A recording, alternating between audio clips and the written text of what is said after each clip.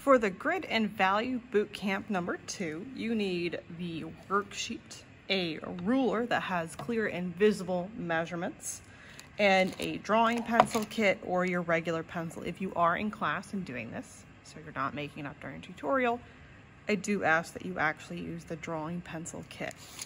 The first thing you're going to do is write your name and your block number. So if I write Miss Orchard, and I could say, let maybe I'm in block three, okay?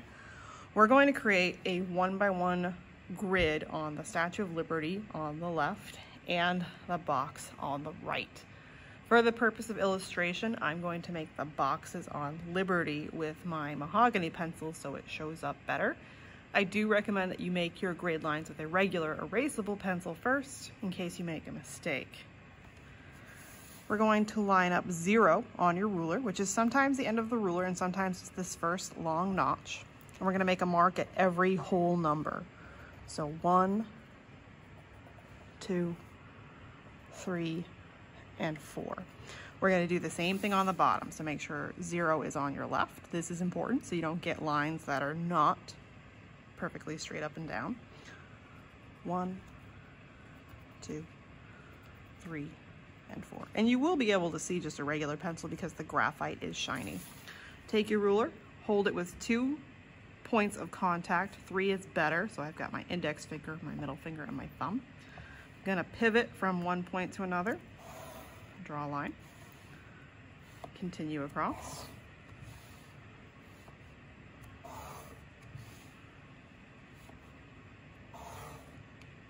We're gonna do the same thing on the other edge. So we're gonna put zero on the top right corner. We're gonna make a mark at one, two, three, and four. I'm do the same thing on the left edge. So zero's at the top. Be consistent about where zero is, just in case there's tiny, tiny mistakes and maybe it's not exactly the measurements you think it is. I'm gonna connect them across again. And I always use more than one point of contact on my ruler so that it doesn't wiggle around while I'm drawing. And I do push down with moderate pressure to help it stay in place.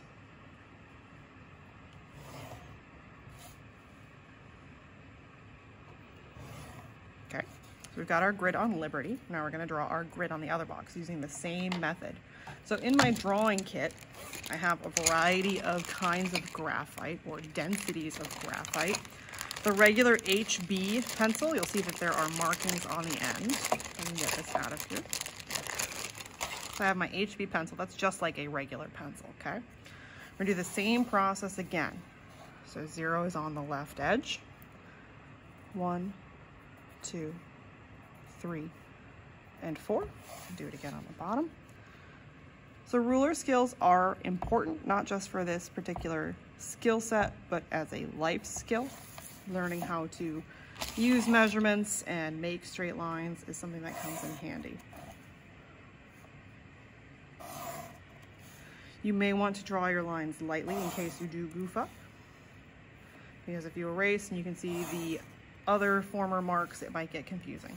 So because I have my marks outside of Liberty on the left, I can actually just mark up the right side of my empty box here on the right. And put zero on the top right corner. Got one, two, three, four. These are five by five inch boxes. Line up.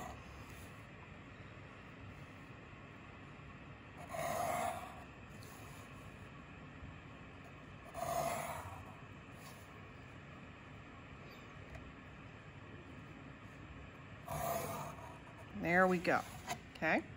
So now your task is with your drawing kit, and take out all the pencils here for the sake of illustration. You should have six different pencils, a putty eraser, a tortillon, and a hand sharpener in there. Not all of the hand sharpeners have a little catch for the debris. So if you don't have a catch for the debris, just make sure you sharpen and then take care of your debris so you don't leave it on the table. You can also use the electric sharpener at the front of the room. So the pencils have different densities of graphite. HB is a regular, like a regular pencil that you use in your every school, everyday schoolwork. 2B is a little bit softer, so it will be darker. 4B is even softer, so even darker. 6B,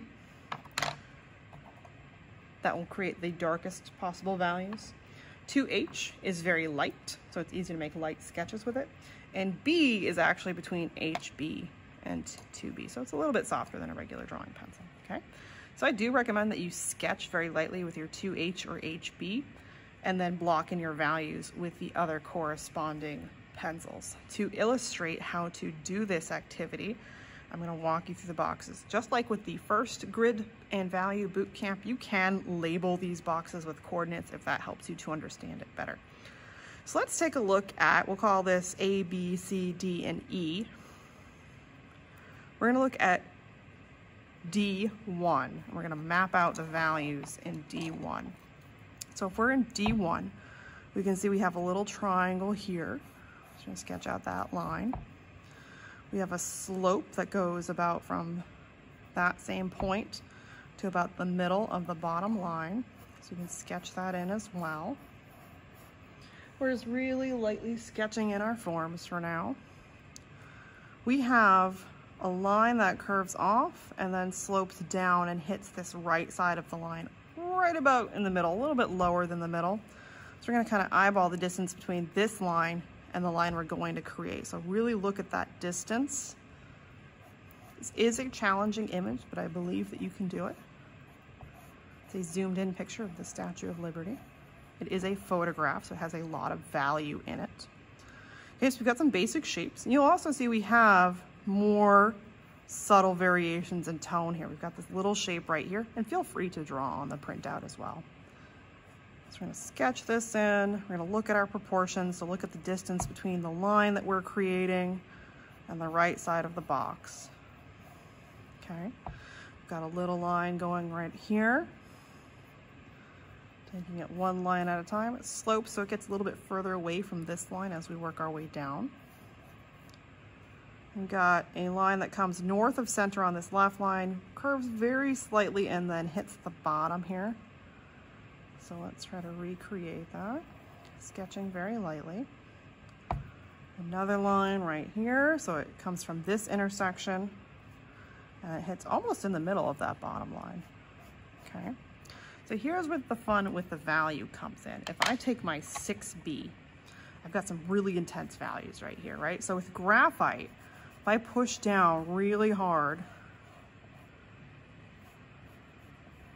with my 6B. I'm gonna outline it first. I'm gonna work in little circles. And if you are at a scratchy kind of table, you might wanna work on top of a folder or on top of your portfolio.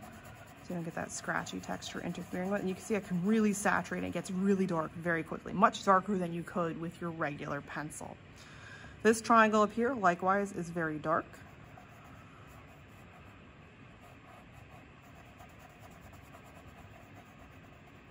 Okay.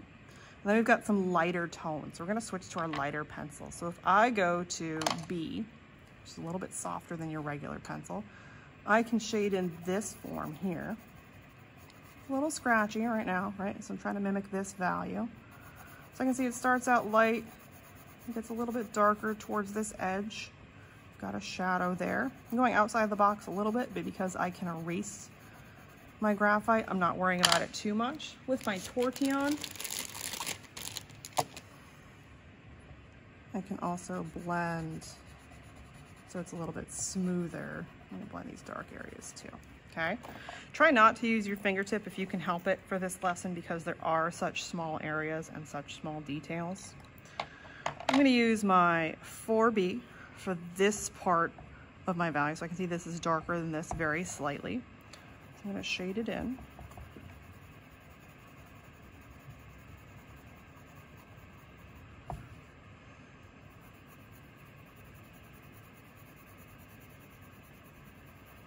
A little scratchy so far, lightly shading, so I'm barely touching the pencil to the surface.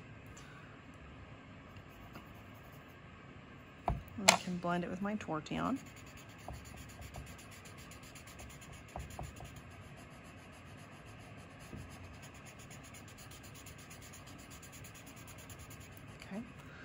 So if I'm worried about losing some of my value, if your putty eraser isn't unwrapped, you can go ahead and unwrap it. Probably it's unwrapped by now, but if you're the first class to use these drawing kits, it's not unwrapped.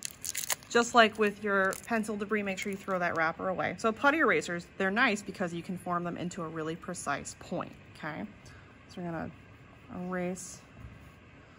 I'm going a little too far into that darker value I know I'm gonna need to create, so I'm gonna pick it up.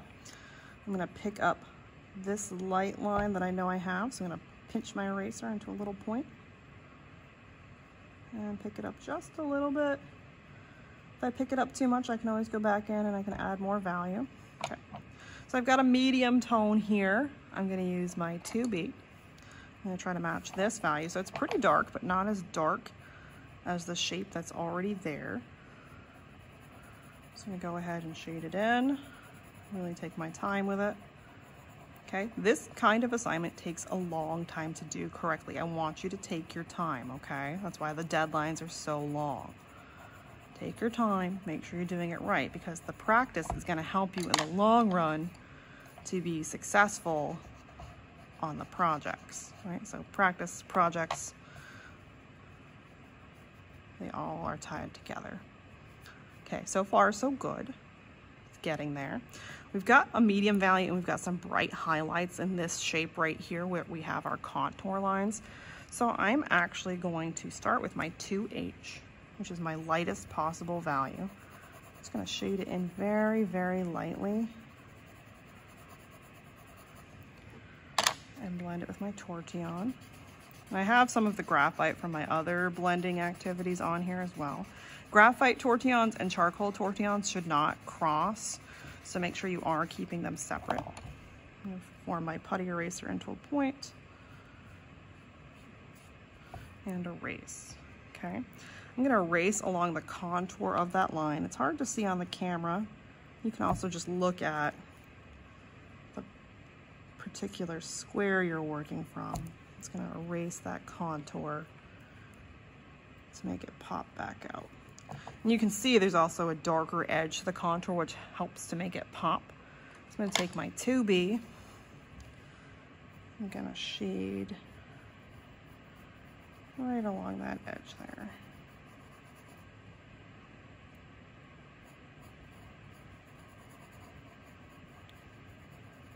Got a little sliver here that's also a bit darker. And then blend it with my Tortillon. I can make that highlight pop again by taking my eraser and just pulling gently from a point, okay?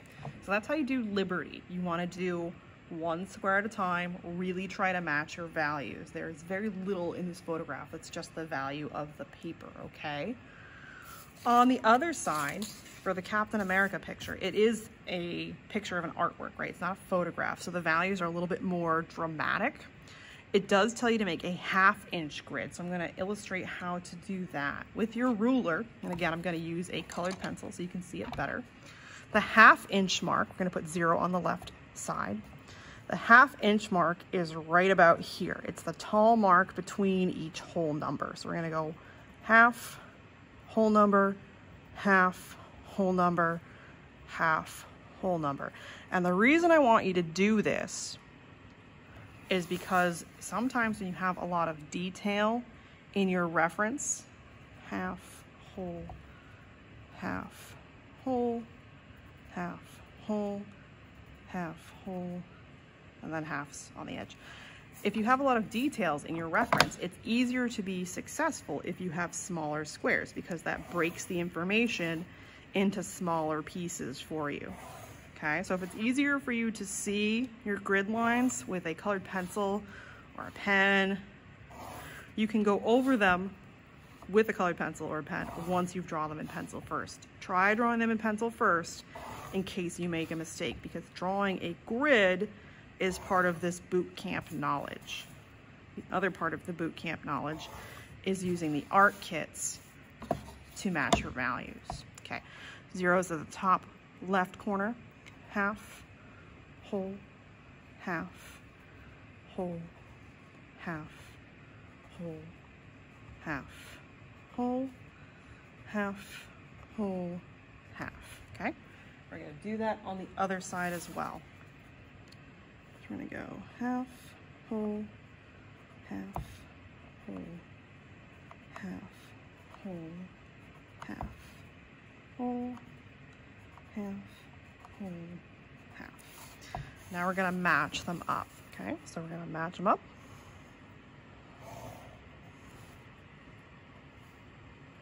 I am pointing my measurements away from me so that it's easier to see on the camera.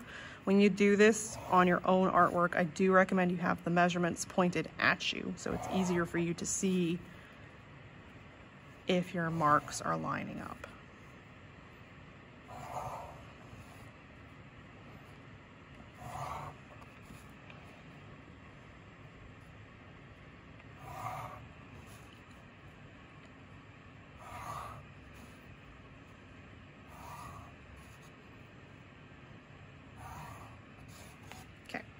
We're gonna do the same process over here.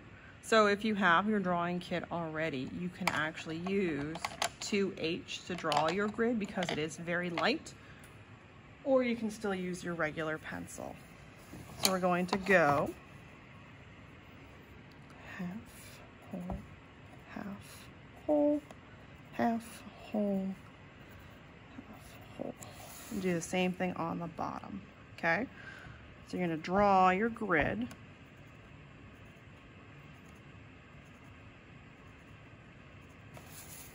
And then recreate the lines, the shapes, and the values